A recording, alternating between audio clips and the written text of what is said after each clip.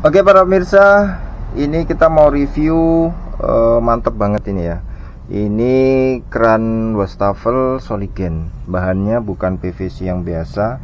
Ini bahannya uh, kalau kita lihat sekilas ya uh, kayak metal tapi enggak. Tapi ini PVC yang kuat. Ya, ini untuk tempat keluarnya air. Ya kita lihat. Nah bagus ya. Terus kemudian uh, ini untuk gagangnya ini elegan banget ini bisa dinaikkan bisa diturunkan ya. Nah ini on off nya di sini. Ini uh, selama saya jualan ini ya sangat uh, menarik untuk uh, cafe pemilik cafe ya. Kalau mau ganti kran wastafel uh, prefernya ke sini ya.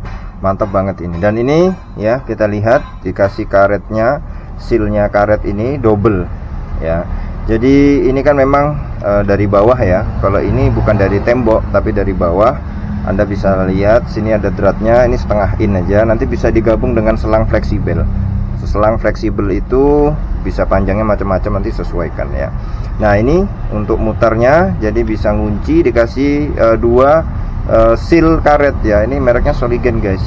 Nah ini ya Soligen ya. Ini dua seal karetnya satu di atas satu di bawah. Nah uh, walaupun PVC tapi weh mantep banget ini ya. Ini lumayan kencang penjualannya ya. Karena barangnya bagus plastiknya bukan plastik yang biasa. Kalau produk Soligen itu ya plastiknya memang terkenal kuat. Nah ini kita bisa lihat para pemirsa ya. Bagus banget elegan warnanya hitam lagi ya. Sekarang lagi musim ini warnanya hitam. Ah, walaupun ada yang warna silver tapi ketika kita coba jual yang lebih uh, banyak diminati yang warna hitam. Nah ini barangnya bagus ya finishingnya bagus juga. Nggak nyangka kalau ini bahannya PVC yang bagus ini. Ya apa nama bahannya itu ada gitu cuma saya kurang memperhatikan tapi ya mantap lah ini sudah masuk PVC nya yang uh, bagus banget. Finishingnya ya bagus banget. Nah kita lihat semuanya nih. Bagus ya. Ini mereknya Soligen. Nah ini tulisannya